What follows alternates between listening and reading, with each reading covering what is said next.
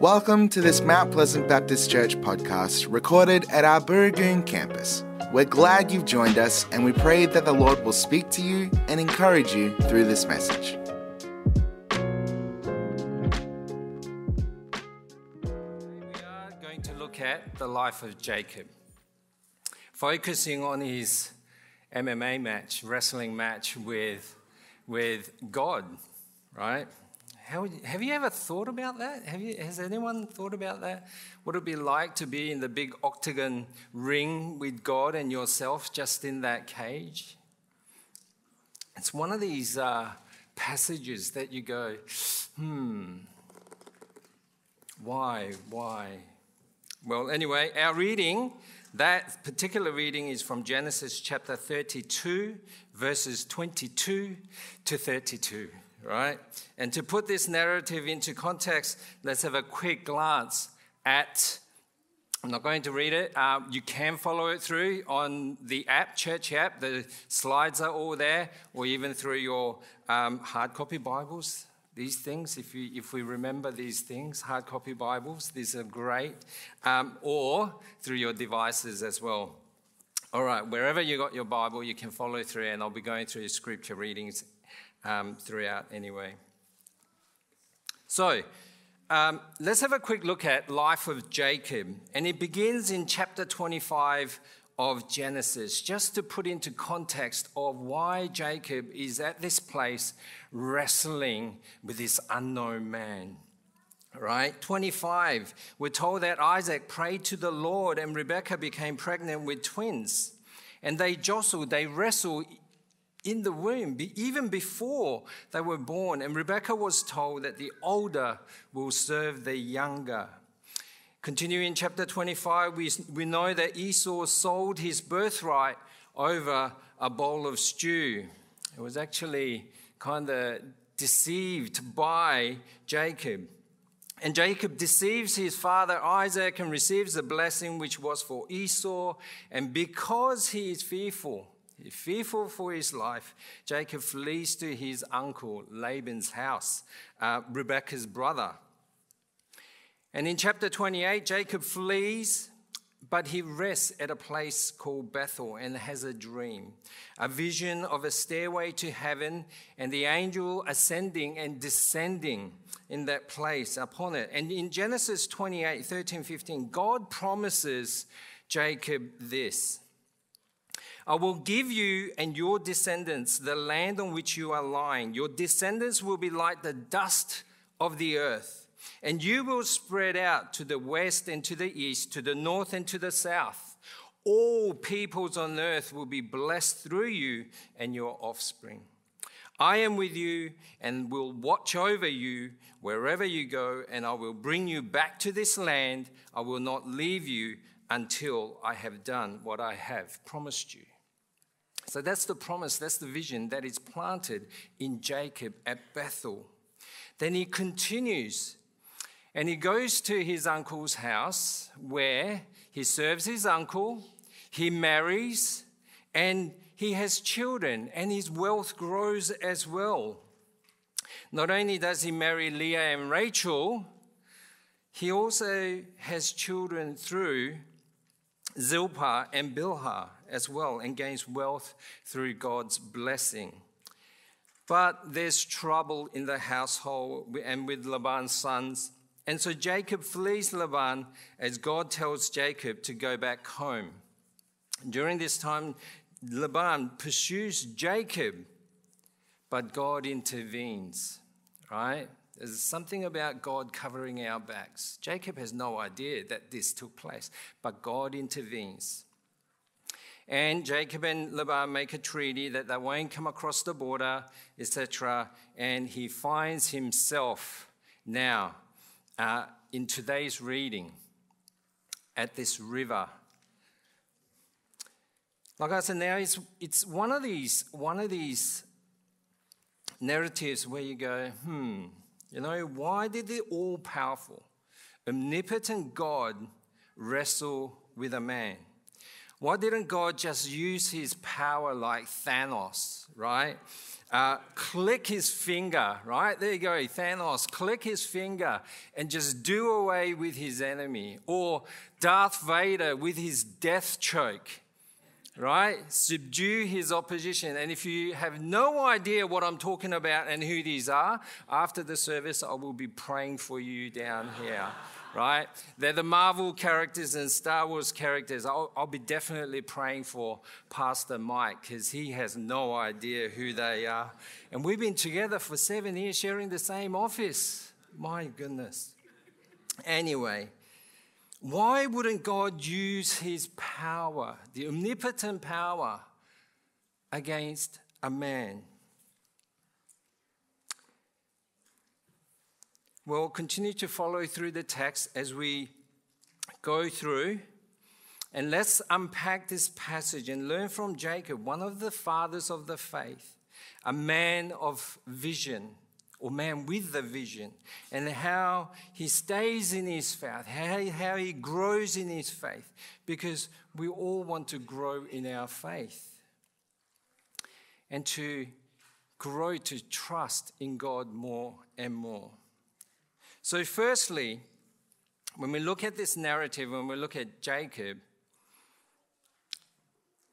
Jacob communed with God.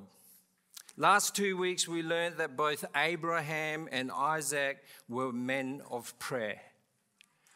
For us to begin in our faith journey, to rekindle or to grow in our faith, we need to be, pe- we need to be people of prayer.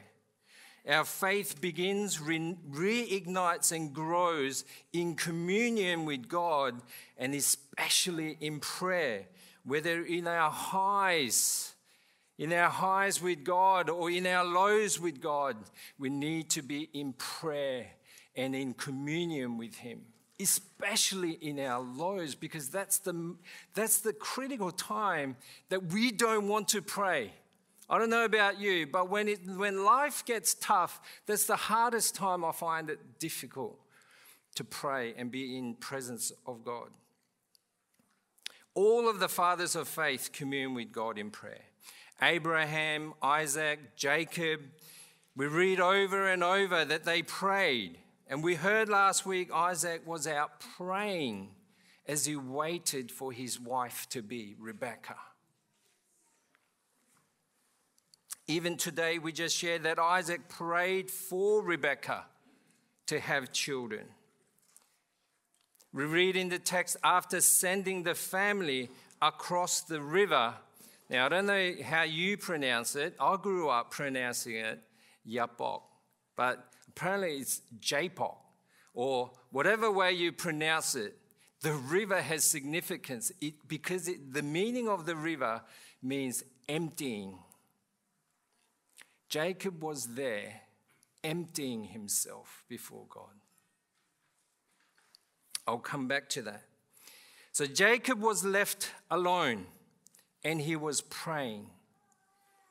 He was seeking God in prayer because he was fearful for his life. And we know this because earlier in the chapter uh, 32, in verse 9 to 12, Jacob prays this Save me, save me. I pray, from the hand of my brother Esau, for I am afraid he will come and attack me, and also the mothers with their children. But you have said, I will surely make you prosper, and will make your descendants like the sand of the sea, which cannot be counted. He was in dire straits, fearful for his life, and there he is alone with God praying. This man of faith, with the vision, the promise he had received from God, was alone in prayer. When we look to Jesus, the Son of God, he showed us the importance of being alone with the Father. He went to a solitary place and prayed. Time and time again, Jesus was alone with the Father then how much more do we need to be alone with the Father God? For being alone with God is such great benefit to us as we come into a, a revelation of who we are. An anonymous author wrote this and is so fitting. To be left alone with God is the only true way of arriving at a just knowledge of ourselves and our ways. We can never get a true estimate of nature and all its actions until we have weighed them in the balances of the sanctuary. And there we may ascertain their real worth, no matter what we may think about ourselves, nor yet what man may think about us. The great question is what does God God think about us? And the answer to this question can only be learned when we are left alone. Away from the world, away from self, away from all the thoughts, reasonings, imaginings, and emotions of mere nature, and alone with God. Thus and thus alone can we get a correct judgment about ourselves. Our faith begins and grows as we spend time with God in communion with Him in prayer. I'm not saying that we neglect the daily readings of Scripture, but spend time with God to also pray the Word. Pray the Word into our lives. Take Scripture, whatever we have read, take it and pray on it. This in turn will help us realize who God is and who we are in Him and who God is to us. Secondly, people of faith wrestle with God. Or should I say that God wrestles with people of faith? As we spend more time with God, we begin to wrestle with God. In the narrative, an unknown man wrestles with Jacob. And it reads, A man wrestled with him till daybreak. When the man saw that he could not overpower him, he touched the socket of Jacob's hip, so that his hip was wrenched. And as he wrestled with the man, as he wrestled with the man, then the man said, Let me go, for it is daybreak. But Jacob replied, I will not let you go unless you bless me. I don't know about you, but when I pray, it seems like I do wrestle with God. But in reality, it is God who wrestles with me. In our reading, it doesn't say that Jacob wrestled with God, but the man wrestled with Jacob. The man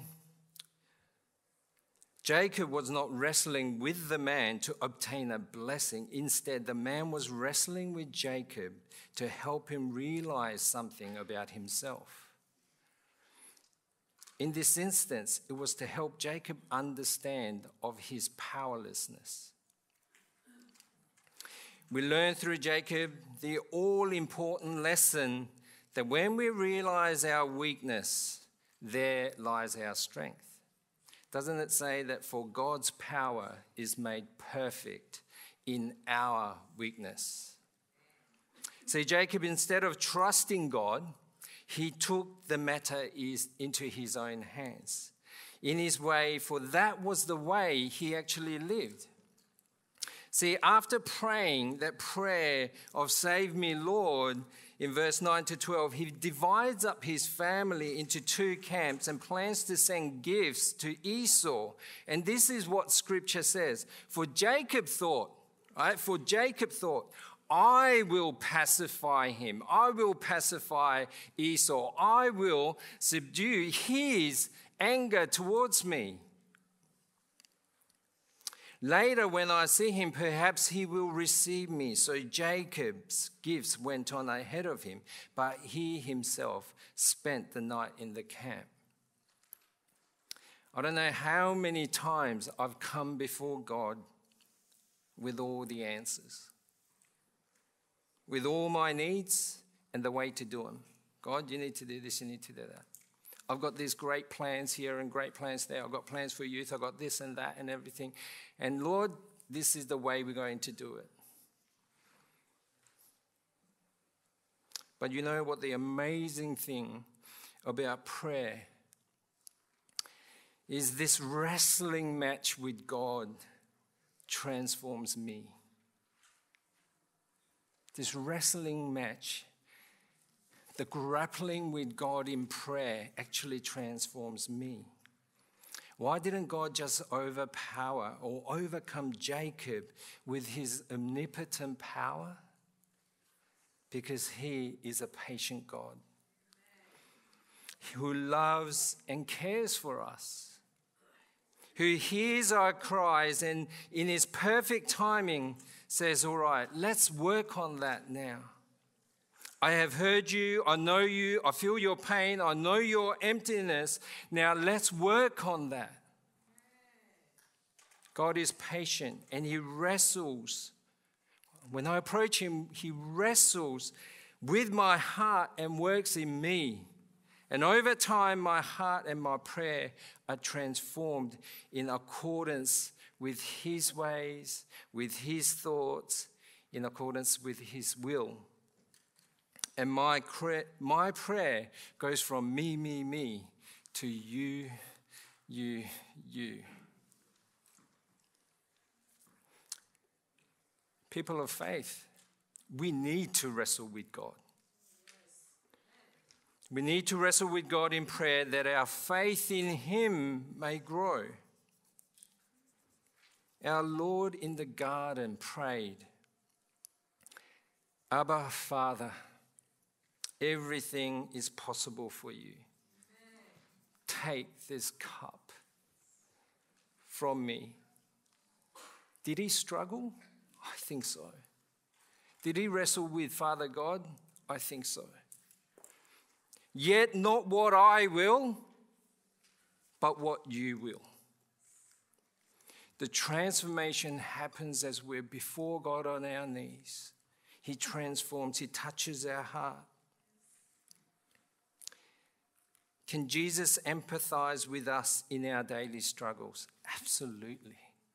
He's been there, He's gone before us. He can, he can empathize with us we need to get on our knees and cling onto Jesus. Let's give God the things of this world and cling onto Jesus, for He is enough. There is a part that we need to play in all of this, and that is to submit ourselves to God. Not only to surrender the things of this world, what I have in my heart, in my mind, but to surrender ourselves in prayer to Him and cling on to Him and let Him work in us. And thirdly, we need to be honest with God. We need to be honest with Him in prayer. And true honesty comes in humility. If we are not humble before God, we cannot be honest with God and surrender our all. Look at Jacob. The man asked him, What is your name? Jacob, he answered. For the first time, we see Jacob being honest. He had lived up to his name to this point. Jacob, meaning a deceiver, a schemer. He lived up to that name. He deceived his brother Esau, he deceived his father Isaac, and he deceived his uncle as well. Last time he was asked what his name was, was when Isaac was to give his blessing. And Jacob lied about his name. He said, I am Esau. Not once, but twice. God asks him the same question Who are you? What is your name? But now Jacob humbles himself and is honest with God. My name is Jacob.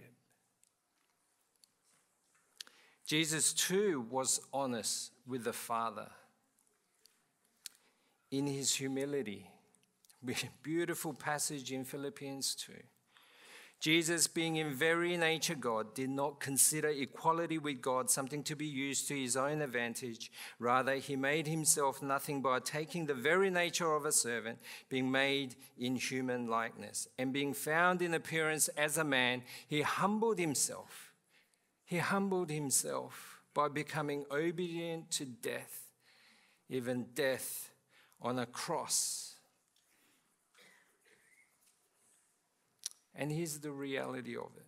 And as the sins of this world was placed upon him, upon Jesus, your sins, my sins, where we should have been, when it was placed upon him, in all honesty and anguish, Jesus cried out, My God, my God, why have you forsaken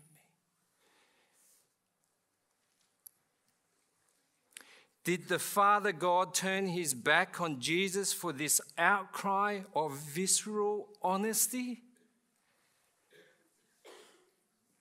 Father God didn't turn his back on him, but the blessing came as God exalted him to the highest place and gave him the name that is above every name. We too can be honest with God in humility. Our Lord wants us to come to Him and bring it to Him. The Psalms, how honest is David before God? The lament Psalms, pour them out in prayer to God. God will not turn his back on us. No, He will come and embrace us. And as I come before God in prayer, the true blessing I realize more and more is not what I have received in answer to my prayer, but how I have come to know who Jesus is. For Jesus Himself is our blessing. Jesus himself is our blessing. Jesus himself is my blessing. And Jesus showed us the stark reality that the true blessing of God comes as we are honest, as we honestly come before Him in humility, to know Him and to be known by Him. See, Jacob received the blessing of a new name, Israel. For those of us in Christ, we too have received a new name. The blessed name of being called a child of God. What a beautiful name to have. I'm a child of God. Who are you? I'm a child of God. To be known, to know Him, and to be known by Him. So let me close with these thoughts as we reflect on growing in our faith and how we trust in God. For us to grow in our faith and trust in God, we need to pursue and experience Him. We need to pursue and experience Him. And prayer is the foundation of faith that we commune with Him, that we wrestle with God. Wrestle with God. Bring everything before Him in humble honesty. And Jacob had the vision of the promise of what was yet to come. For us, the vision of the promise has come and was fulfilled in the person of Jesus Christ. He is our vision and He is our all. Our faith, as Hebrew chapter 11, verse 1 says, faith is confidence in what we hope for and assurance about what we do not see. For us, faith is a person. It is the person of Jesus Christ.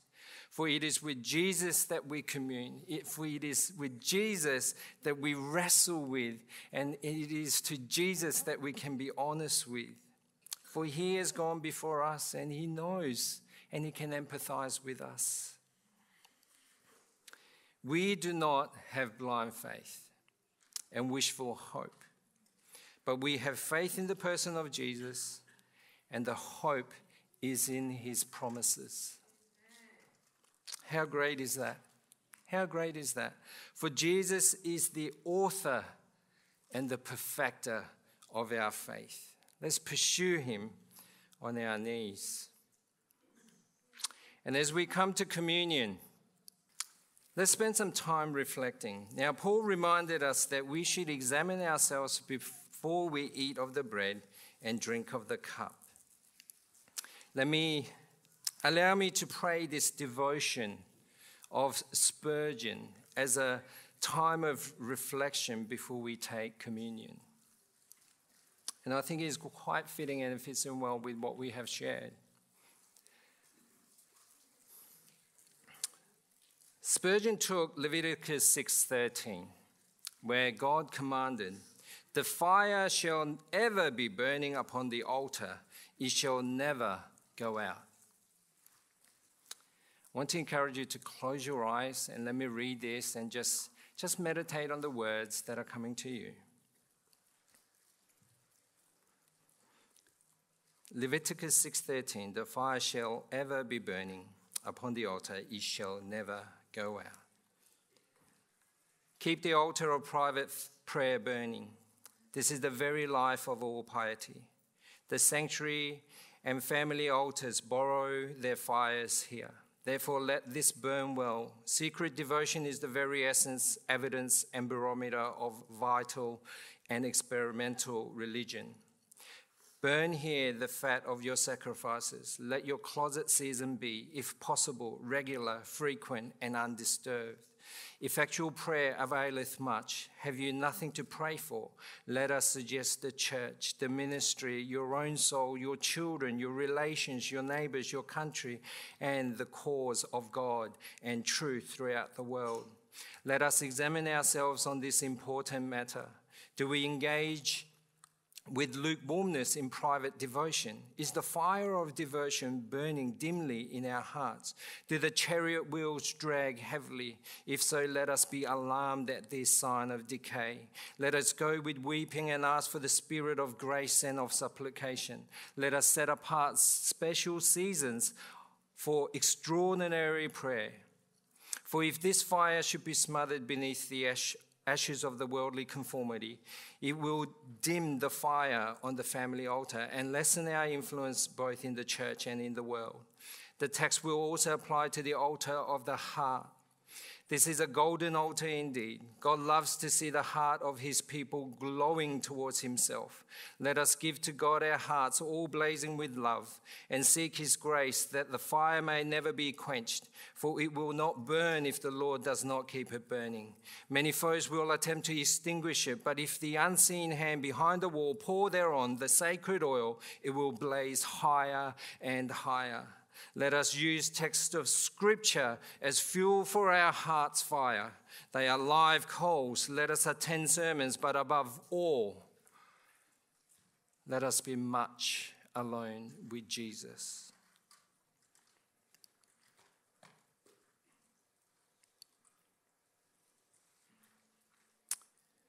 Lord Jesus, on the night he was betrayed, took bread.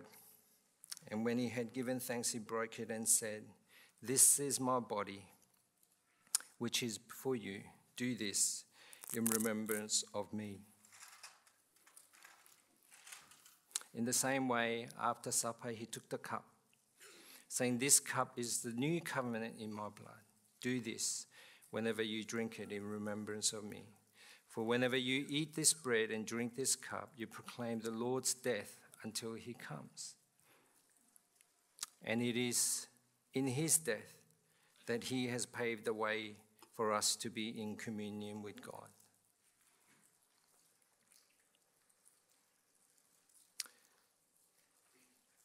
When you're ready, please take the elements.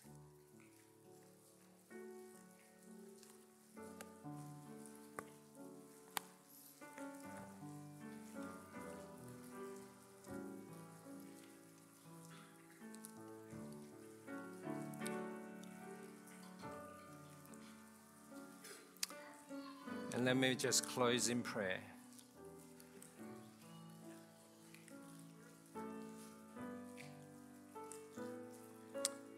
Beautiful Jesus, we thank you so much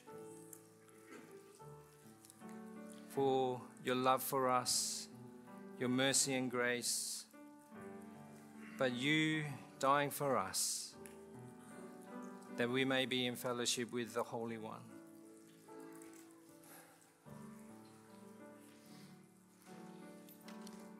Lord, help us to each day be present before you, just to be in your presence, to commune with you, to wrestle with you, but to bring all the things that we have on our hearts in humility and with honesty. And we know that you won't turn your back on us. You will lovingly care for us and lovingly look after us. But you will gently touch us that we will cling on to you even more and more. You are a blessed Father. And where will we be without Jesus? So we thank you, we love you. In Jesus' name, amen.